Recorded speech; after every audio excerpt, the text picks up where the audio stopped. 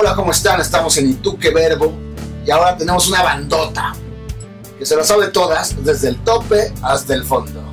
¿Eh? ¿Qué tal? Somos Cultura Profética. ¿Y tú qué verbo? ¿Qué verbo? Sé que ustedes tienen más de 15 años. ¿Cómo se aguantan? Entendemos la importancia de nuestro trabajo por encima de los egos personales. Eh, y también tenemos un balance, o sea, tratamos de balancear nuestra vida personal y familiar con el trabajo. Eh, hay respeto por encima, ¿no? Obviamente hay momentos en que uno se va a encontrar, como en todas las relaciones, pero sabemos, hemos sabido con respeto cómo llevarla adelante.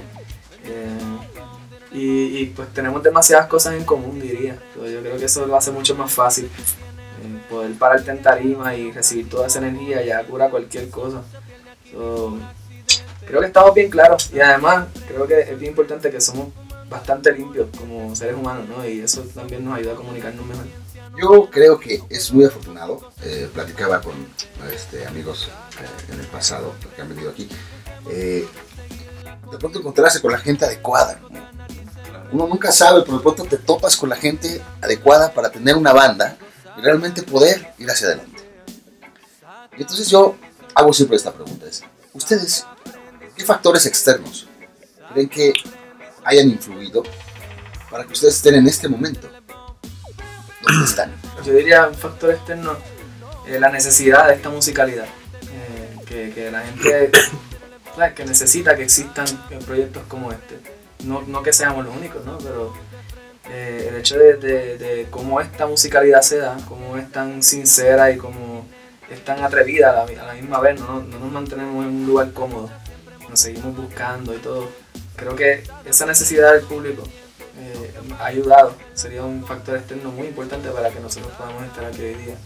Es bien gracioso porque cuando nosotros nos juntamos teníamos 18, 20 años y generalmente pues en esos momentos uno hace cosas como sin pensarlo mucho, pero nosotros tuvimos muchos momentos en, en esos primeros meses de, de, de, hablar de lo que se iba a tratar el, el grupo, como nosotros decidimos que, que, era en serio la cuestión musical, que no podíamos llegar a un ensayo allí a, hacer perder el tiempo al otro porque no te sabes lo que te tienes que saber.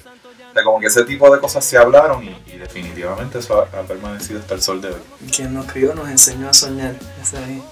No está precioso. Así. Sí, nos pasos bien lindos. Hay una canción en especial que me llama mucho la atención, exactamente del top al fondo. Por toda esta mezcla de tango, ¿no? ¿Cómo empieza? y se mezcla y lo logran y, lo, y lo, le da la vuelta. Está padrísimo. Mira, eh, nos tocó unas navidades, nos quedamos él y yo. Yo puse la excusa de que necesitaba esa influencia ¿no? en mi casa. Mira, no voy a llegar, no voy a quedar aquí. Pero, circunstancias de la vida, pues, eh, íbamos un día para el río, Willy, Willy y yo, me toca la canción Dice, mire, se hizo esta canción anoche y yo me quedé así como, wow, eso pega un tango perfecto. Y como que fuimos buscando la vuelta y salió. Omar hizo un arreglo de cuerdas increíble y obviamente pues... Sí, el arreglo. Y que, se, y que se preparó, como que buscó mucha música sí. de tango sí. y milonga, hizo un trabajo de estas de sí. CDs ahí, me, me, estudié el estilo, ¿verdad? Porque eh, creo que cuando uno se va a meter en, en aguas que no conoce, eh, especialmente con, con el folclore o la historia de un país, este, hay que ser respetuoso. Y yo creo que vino, vino al caso con el tema porque el tango tú sabes que es así como bien apasionado y tiene como cierta, cierto grado de dolor, ¿no? además de, de pues, la sensualidad, ¿no? pero tiene mucho dolor, se le siente esa, esa vena y creo que es súper importante para lo que proyecta el tango finalmente. Y, pues vino perfecto, vino como anillo al dedo. Me queda claro que no solamente hacen reggae, Claro. ¿no? Que no se queda nada más con el reggae, sino que sí hay, existe siempre, lo que ha sido desde hace mucho tiempo, la curiosidad o las ganas, ¿no? De ser como mezclas de diferentes es cosas. Que ahí, ahí, vuelvo a lo que te digo, de que nosotros llegamos ya al grupo con influencias bien variadas, o sea, con, con incluso con una experiencia musical eh, ya más variada, o sea, Willy y yo eh, estudiamos en la misma escuela y nosotros teníamos un grupo de, de nueva trova, este, hacíamos también folclore, después tuvimos una orquesta de salsa, eh, o sea, como el reggae llegó después, ya, ya éramos músicos, ¿verdad? O sea, Claro. como... Ya tocaban salsa. entonces, pues por, por acá Eliud viene, eh, eh, su papá está en la tradición de los boleros y el- los tríos, pues él tiene también eso. Se crió escuchando eso en su casa. Y el rock también. Y del rock, ¿verdad? Nosotros. Sí, nosotros somos bien, bien rockeros y, y yo creo que, que yo creo que esa, es- esa ha sido la, la parte linda de lo que tiene la banda también y lo diferente que nosotros tenemos, como tú bien dijiste, ¿no? nosotros yo creo que sí por mucho tiempo, ¿verdad? Fuimos unos estudiosos del reggae, me atrevería a decirlo, pero de momento no, no, nos salimos de ahí, ¿verdad? Nos, nos- nos dimos cuenta que, que- que no queríamos limitarnos a solamente eso, sino que lo que, lo que sintiéramos y, lo que, la música que, que fuimos eh, descubriendo en el camino y que todavía hoy día seguimos descubriendo, pues, pues traerla, traerla al medio, ¿verdad? compartirla entre nosotros y ver de qué manera eh, la podemos poner en práctica dentro de lo que es el proyecto. Y yo creo que, es, que eso ha sido lo lindo, todos los días nosotros seguimos aprendiendo y escuchando eh, música nueva, música nueva vieja, gente que, que nosotros ni sabíamos que existían ahí, que, que murieron hace muchos años y de momento tú lo descubres y es como, wow, ¿qué es esto, mano? Entonces pues llega Willy con algo, lo compartimos, o, cualquiera de los muchachos y, yo creo que, que eso es lo lindo que tiene la banda, que nosotros siempre nos estamos atreviendo a, a salirnos un poco, por así llamarlo, de la zona cómoda, aunque nosotros nunca hemos tenido una zona cómoda real, ¿verdad? Siempre tratamos de mantener una base, eh, por decirlo así, de roots, ¿verdad? De raíces, pero siempre estamos como que, ¿cuál es la próxima jugada? ¿Qué, qué, qué- qué es lo que vamos a hacer? Vamos a empezar por allá. tu gusto musical culposo. Definitivamente la onda ochentera, soy fanático de Duran Duran, de todo el, todo el,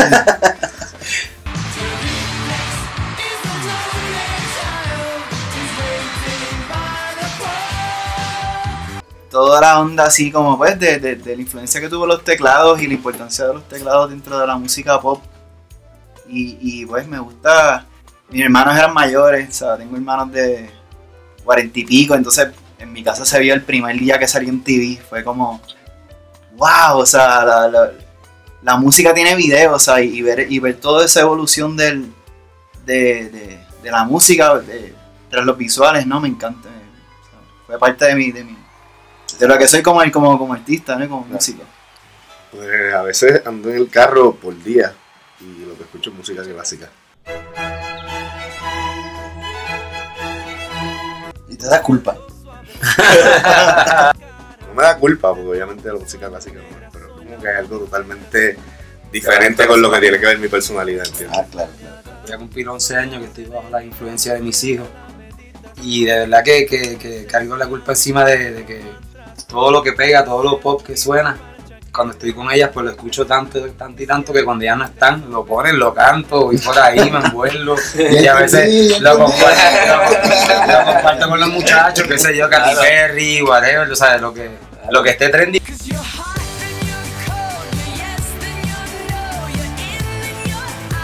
Lo loco es que siempre yo encuentro una belleza y siempre encuentro cosas muy buenas dentro de, de todo eso que anda por ahí, ¿verdad? De, de todo ese bobolgón, ¿verdad? Como le decimos. de- Bueno, así de culpa, de culpa, de culpa, no, no, no creo que ninguna de las músicas que escucho me da culpa. Algo que yo siempre le digo a mi compañera es que, que yo tengo una etapa, un gusto musical que la mayoría de mis amigos no se imaginan y es por la música electrónica oscura. Pues yo tengo que aceptarlo. Yo escucho, eh, bueno, no sé si tanto escucho ahora, pero me, me he dejado llevar escuchando a Luis Miguel.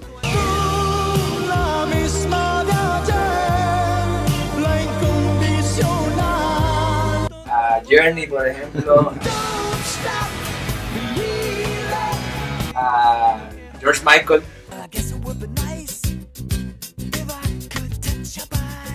Toda la situación que está pasando en México, ahora que ustedes están aquí, que vinieron a dar conciertos, ¿de alguna manera les afecta? Me refiero a su música, a No, su, no, a su, no, a su afecta- o, o simplemente es una cuestión como social que Nos afecta hasta en la distancia, ¿no? Hasta la distancia, enterarte que están pasando cosas en el mundo es como, como dicen los Jedi, es un disturbance in the force, tú sabes. Lo sientes, ¿tú me entiendes? Chucho, por favor. Ahorita le ponemos un de la. ¿sabes? O sea, como seres seres humanos sensibles que somos, si no, no estaríamos haciendo música, ¿no? Obvio que somos bien sensibles, eh, si nos afectan. Eh, desde los shows que, que hicimos acá, eh, solo en el, en el último show en DF, fue que yo dije algo sobre la situación que se está viviendo directamente ahora. Eh, en los otros no, no dije nada, porque, porque sentí que a lo mejor no era ni tan necesario decirlo, porque nosotros estamos convocando una energía con nuestra música que va por encima de todas esas, esas cosas malas, ¿no? Estamos proponiendo sensibilidad y creo que la sensibilidad es la llave para curar todos esos males. Eh, entonces, pues no necesariamente sale literal, pero está implícito en la manera en que nosotros eh, hacemos música, ¿no? Y, y- y el momento en que la, la entregamos, esa conversación, energía entre la gente y nosotros. ¿Qué fue lo que dijiste ahora en este concierto Eh, sobre la situación? No me acuerdo exactamente cómo lo, cómo No, lo dije, porque de cierta manera pasó en el momento, ¿no? Este, pero dije que no, que los ignorantes debían saber que, que pueden desaparecer estudiantes, pero nunca se va a poder matar un, un- un movimiento, ¿no? Este, que es un acto de sabiduría ancestral. Eh, simplemente están haciendo eh, mártires a, a estos, a estos jóvenes y, y eso lo que hace es que le da mucho más fuerza a su argumento. A mí, la verdad es que me ha dado un placer enorme estar con ustedes.